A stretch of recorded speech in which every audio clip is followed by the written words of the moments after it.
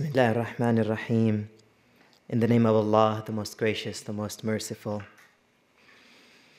Peace be upon him whose burial wash was his blood, whose shroud was the weaving wind, whose camphor fragranting his corpse was the diffused desert sand, whose coffin was the spear lifting his severed head, and whose grave lies in the hearts of the millions of his lovers. O sun, don't set, they behold Hussein's head. O sun, don't set, they behold Hussein's head. يا شمس لا تغيبي راس حسين مع القوم On the tenth day of Ashura, O sun, don't set, they behold Hussein's head the last hour, the last minutes, the last moments of commemorating the event, we shout out, O sun, don't set, they behold Hussein's head. It was the year 680 or 61 Hijri on the Muslim calendar. Imam Hussein, the grandson of Prophet Muhammad وآله, stood there with 72 of his companions. O sun, don't set, they behold Hussein's head all were slain. And the worst tragedy in probably human history unfolded that day. And now, nearly 1400 years later, we commemorate that day. During the traditional processions here in Qatif, Saudi Arabia, we shout out in two groups chanting to each other. One group shouting out, Oh, sun, don't set and the other group shouts back, they have, they behold Hussein's head. O sun, don't set, because the atrocities of the day are too much to bear.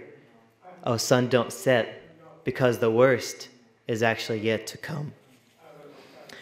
The Umayyad army will decapitate the slain bodies. They will raise the heads on spears. They will burn the tents of the family of the household of Prophet Muhammad. They will whip the children, and worse, they will captivate them and take them as bounty from town to town, from Karbala to Kufa to Damascus. They will be shown in public in humiliation at the court of the governor of Kufa, Ubaidullah bin Ziyad, and at the court of the Umayyad tyrant Yazid in Damascus. Oh, sun, don't set the final calls, our weeping, our cries, our faint hope that we can do something, the last chance that we can make a stand. Oh, sun, don't set. All Ashura was about making choices about making the right choices, about starting new beginnings, about living a life of moral values. Before the Battle of Karbala, there were many choices to be made. Imam Hussein had lived for 10 years under the rule of the Umayyad Caliph, Muawiyah, and when he passed away, Imam Hussein had not pledged allegiance to Muawiyah and did not intend to pledge allegiance to his son, Yazid. But Yazid demanded that Imam Hussein gives in his hand. But Imam Hussein gave instead his head and not his hand. He would not pledge allegiance to that tyrant. Imam Hussein, before the Karbala battle, talked in a speech to the 30,000 troops of the Umayyad army.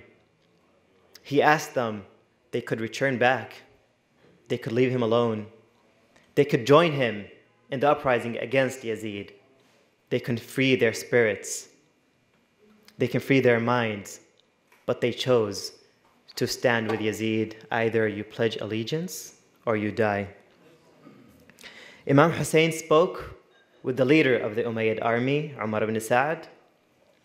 And Umar ibn Sa'd was torn between his conscience and between the promise of the governorship of the town of Ray. Ibn Sa'd finally chose the authority of might over the might of values.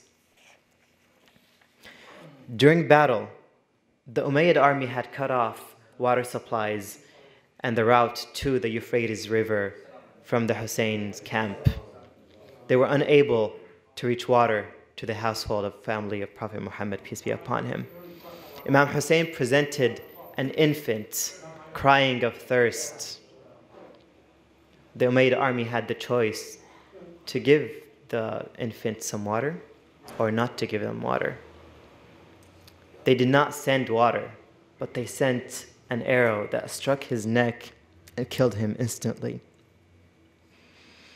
After the battle, as the caravan moved to Damascus, Imam Hussein's daughter of four years old, Ruqayya, in the shack that they stayed in, had dreamt of seeing her father. She woke up crying. She wanted to see her father. The woman wailed, the children cried, and the noise reached Yazid. He could have shown some decency, some mercy. He did not send a present, but he sent a plate covered. When she lifted the plate, she saw the severed head of her father, and she passed away immediately. The Umayyads took the wrong choices throughout the Battle of Karbala, before, during, and after. We are responsible to make the right choices for ourselves. The Quran tells us, He who created death and life, that he might try you as to which of you is better indeed. There were so many deeds that were right and were conscious on that day. First example I'd like to share is Al-Hur bin Yazid al-Riyahi.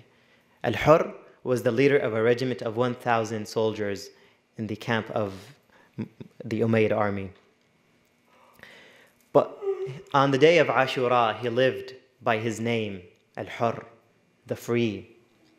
And he switched and joined the camp of Imam Hussein salam and met the same fate. But probably the best example is that of Zainab, the sister of Imam Hussein. The great example for making their choices and starting new beginnings. When all the 72 companions of Imam Hussein were slain, there was only one man left, a 23 year old Ali, the son of Imam Hussein, who was too ill to fight. She helped protect him during, in the court of Ibn Ziyad and Yazid, despite their intentions to kill him. By her new beginnings, by the choices she made, she gave speeches in those courts that switched the public opinion and made Yazid live in disgrace to the present day. She could have submitted to the reality that so many were killed. She could have submitted to the reality that she was a female in a car caravan of 25 to 35 women and children with no man to hold a sword. She could have submitted to that reality, but instead she made a new reality. To Yazid, she said, So scheme as you wish to scheme, and plot as you could ever plot, and exert efforts as much as you dare, for by Allah, you shall never be able to kill our inspiration or erase from memory our passion.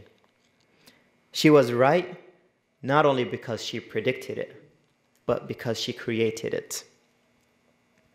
And for over a millennium, the love of Hussein continues, and the shouts continue day by day and year to year. Labbaika ya Hussein. Here we are in your service, O Hussein.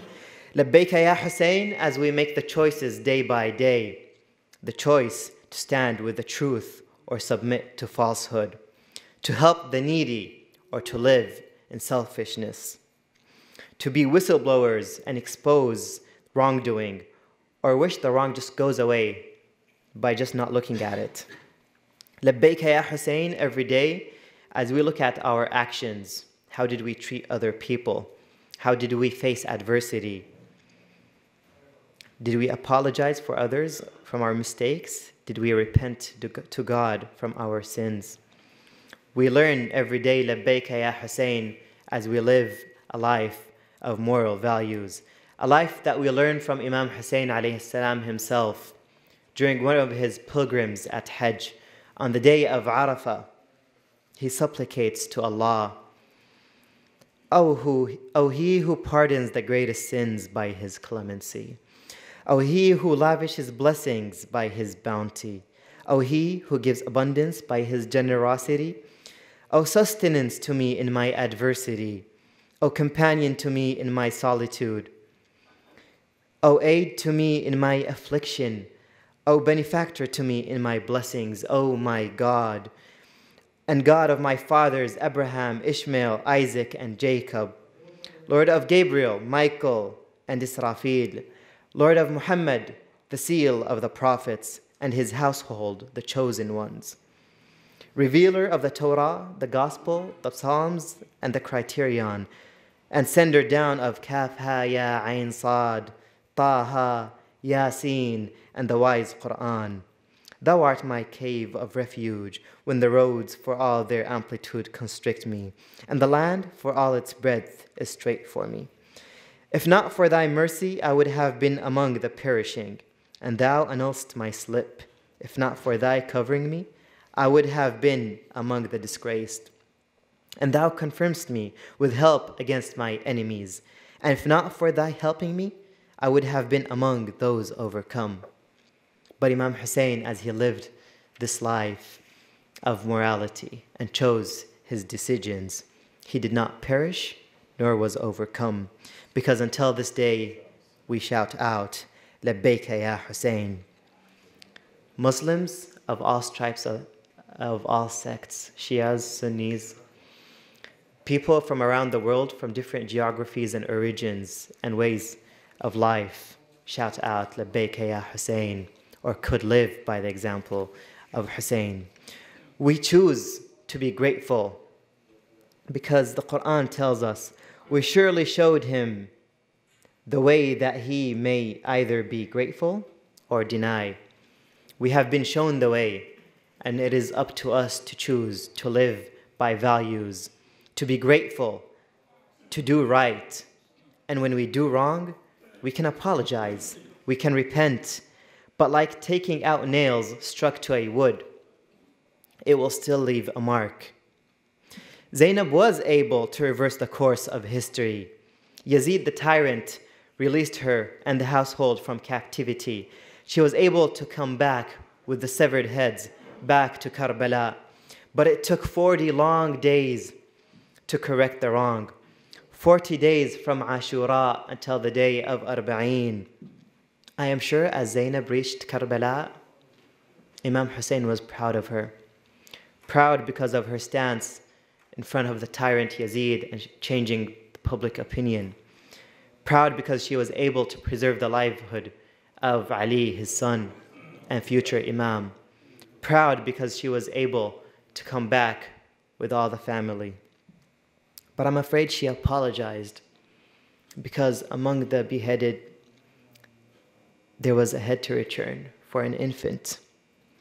And she probably apologized because although everyone came back, there was still Ruqayya, who she left behind in a grave in Damascus.